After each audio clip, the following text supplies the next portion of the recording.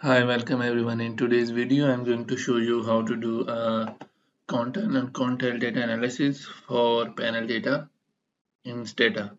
So we'll start with example. So you can see two screens together. So on the right hand side, you will see the codes. So this screen will be stable so that you can read and type in the codes. And I will also delete the extra commands from here so that you have to only focus on the commands that you need to use. So this command start with uh, clearing the screen and then loading a data file. So a data file that I have, since you need to do a panel database quantile on quantile, so you should have a data of panel data where there is long enough time period so that when the percentiles are being estimated, it should be able to, uh, it should have a big enough subset of data. Otherwise it will say that data is not big enough. Okay? Then in this data file I will open it up. You can see the the panel data of it's a quarterly data of some variables.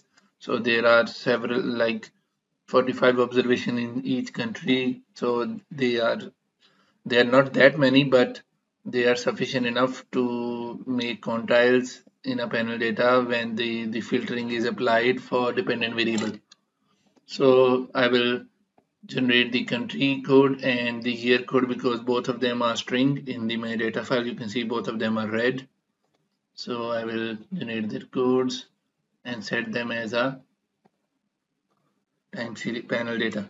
Now I will generate the percentile positions for the dependent variable and then and then create it convert it into a decimal position. So one means 100 percentile and and less than 1 means a smaller percentile position. So this is here. And then I will start so in this command you need to make sure you will have to run from here to here together. It's not it will not work if you execute one line at a time. So I will explain all of them then I will execute. First of all it will uh, clear the any any uh, any window where the data is there. So data window will be cleared it will create a new holding position and in that it will store three things. First is tau position of independent variable tau value of the dependent variable coefficient of the regression and store it as holding.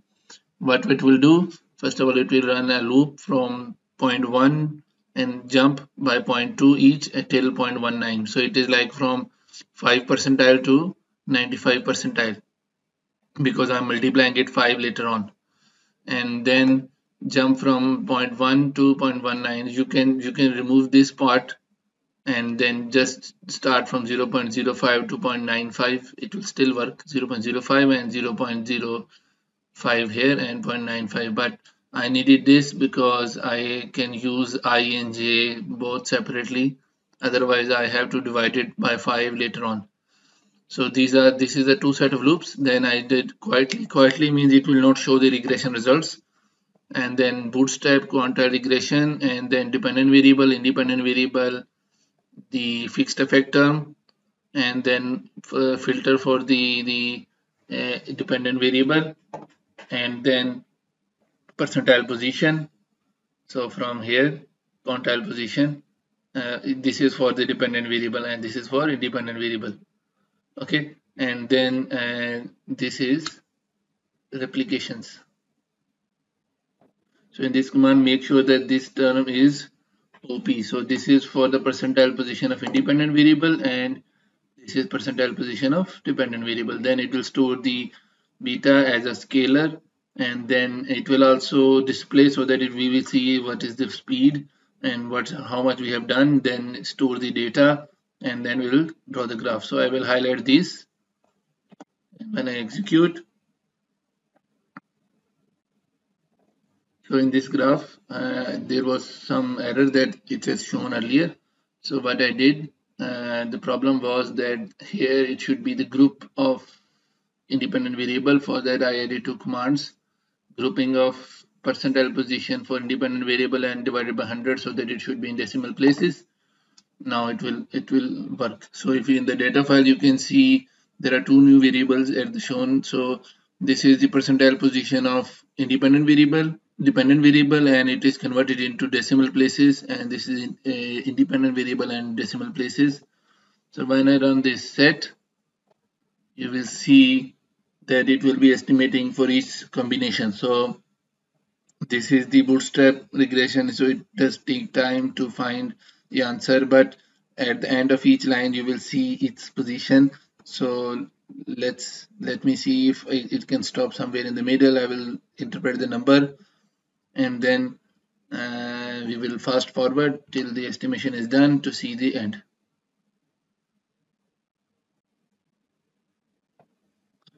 So this this is is the bootstrap process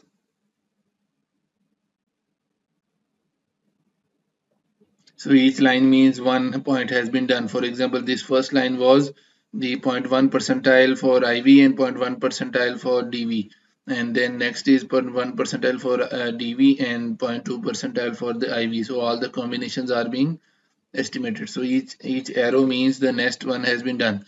So unfortunately it is stopping in at the end. So for example it has stopped here. So you can see it is comparing 0.5 and 0.5 of the IV so this way it will continue until the the there are many combinations. Uh, it will start from it will make uh, from 0.5 till 0.95 10 combinations for IV and 10 so 10 into 10 there will be like 100 estimations to be done. So it is up till now on the second one. So it will take time. So I will pause it here and we'll fast forward till the estimation is done so here you see all the codes have been done. So it took a lot of time, especially in the first set of the data to converge. Then it took less time to do the rest of the estimates. Now since set has been done, what we'll do, we will generate the percentile values by multiplying the, the so first of all I will show you the data. So in the data you have the independent tau values and uh, dependent variable tau values and the coefficient values now what we'll do, we will generate them, generate the two new variables and if you can see, it will convert into a percentile 0 to 100 position value. Now what we will do, now you can see that so loop has been there and then now what we'll do, we will plot a contour plot and you can see it here.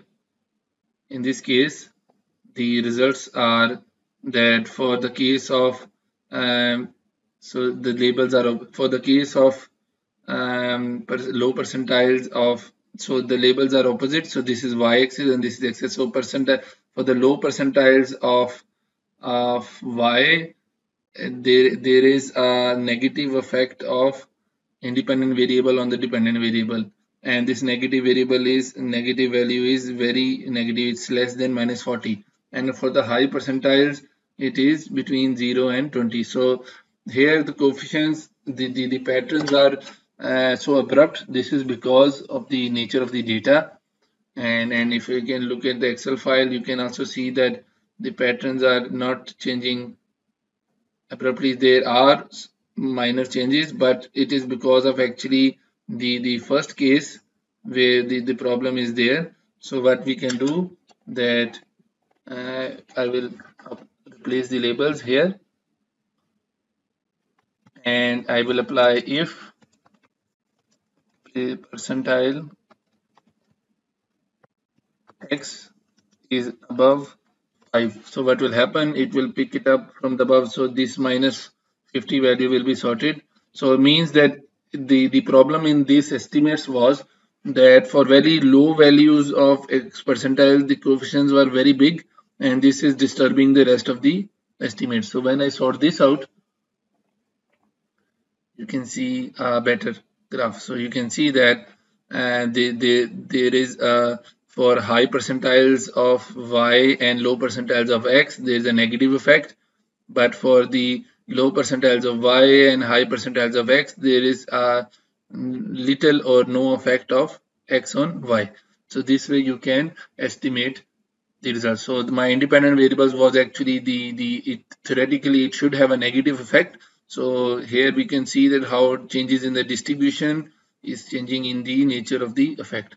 I hope you understand the video. You can see the codes here, all of them. You can adopt it for your requirements. Thank you very much. Do share your comments about how you uh, how you are able to use it in your studies. Thank you.